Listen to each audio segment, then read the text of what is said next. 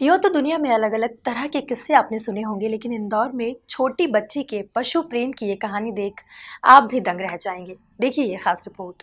वैसे तो आपने बहुत से पेट लवर्स देखे होंगे लेकिन इस बच्ची का अपने डॉगी को लेकर एक अलग ही प्यार दिखाई दे रहा है। जिसने पहले तो अपना गुल्लक तोड़कर एक डॉगी लाया और फिर जब घर वालों ने उसे रखने से इनकार कर दिया तो नाराज़ बच्ची अपने डॉगी को लेकर धार से इंदौर आ गई।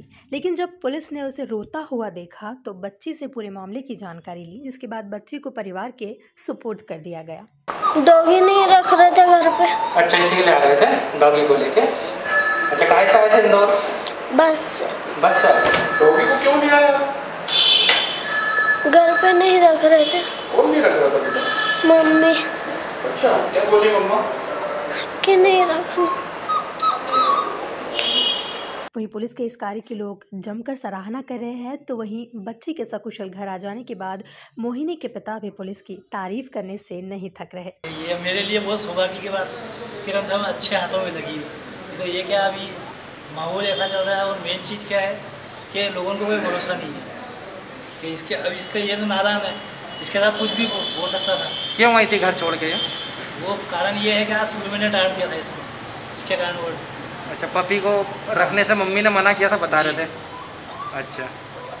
क्या करते आप?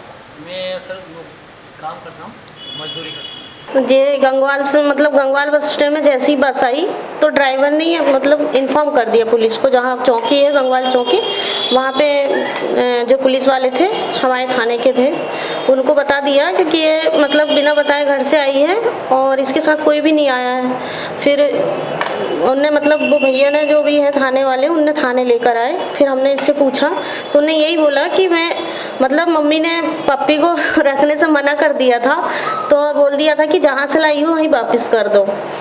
तो मैं पप्पी को उठाई और आ गई।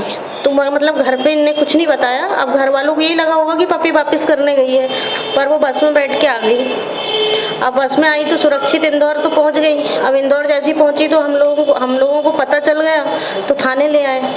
और थाने ले आए तो जब से थाने आई है तो हम लोगों के साथ तो कंफर्टेबल है। अच्छी है, घुल मिल गई है, खेल रही है। वहीं पुलिस के इस मुस्तैदी के बाद पुलिस कप्तान ने दोनों आरक्षकों को नगद पुरस्कार देने की घोषणा की है। Bureau report MP news Indore.